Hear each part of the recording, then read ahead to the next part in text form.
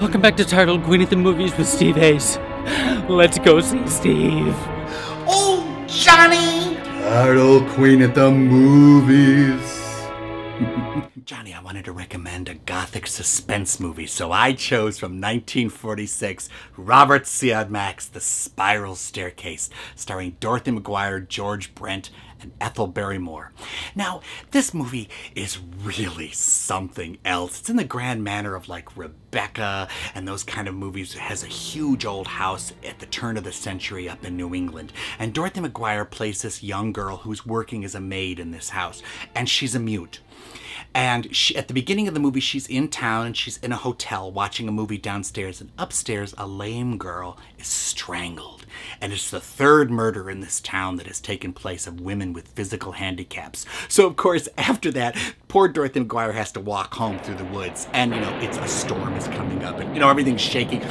And the killer follows her. You never get a, a close look at the killer. The music will start up with that theremin sort of sound.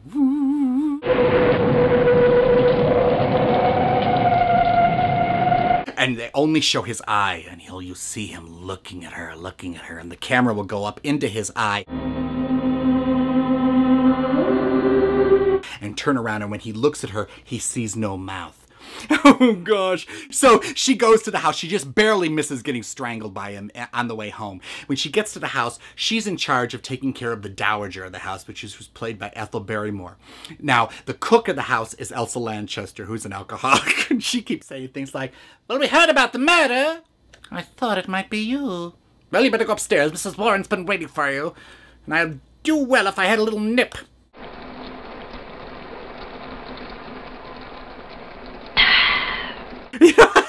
and when she goes upstairs, Ethel Barrymore wakes out of a out of a sound sleep and says to her, Helen, did you know there was a girl murdered here a long time ago? You're not safe here, you know. You should hide under the bed. This has happened before. Years ago, I saw a girl, a crippled girl, get thrown down the well. Hide, my dear. You understand? You must hide under the bed. Meanwhile, the storm is raging, and windows keep getting opened and shut for no reason. Now, if only I knew who opened it. You're not that clever. I hope that, that the rain was the only thing that we let in, and the music keeps going, and meanwhile, the killer is in the house.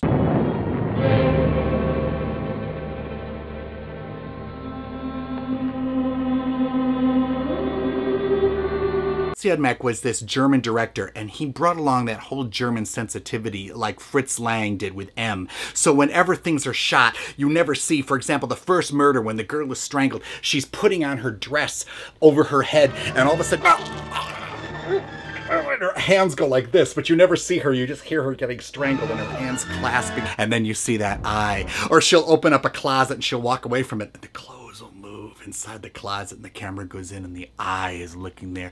This is one of those movies that stays with you. I saw this movie when I was a kid, and I couldn't go upstairs in the dark for 10 years. Well, until I left home at 40. So I highly recommend Dorothy McGuire, George Brent, and Ethel Barrymore in an Oscar nominated performance in Robert Siodmak's Terror The Spiral.